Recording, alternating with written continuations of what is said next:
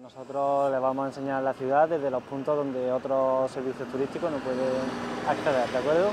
Donde otros no llegan y respetando el medio ambiente. Así es este nuevo transporte turístico nacido en Córdoba. Se llama Lubán y es un híbrido totalmente ecológico. Es un triciclo, su forma de, de navegar es a pedales porque a su vez tiene un pequeño motorcito, un motor eléctrico, va a ayudar en un momento puntual en el, el, arranque en vacío o en la subida de alguna pequeña cuesta. Y esa es su característica más ecológica, que donde las cansadas piernas del turista ya no llegan, es el sol el que se encarga de hacer el resto. Tiene una placa solar de 80 vatios arriba en el techo, en la que va suministrando todo el sistema eléctrico para alimentar unas pequeñas baterías una forma limpia y original de visitar esta ciudad patrimonial para la que el turismo es una de sus principales actividades económicas con 860.000 viajeros al año. Lubán también quiere ser un reclamo para ellos. Y la verdad que curiosean en el tema de por dónde va, qué pueden hacer con él y está cayendo bastante bien a la gente.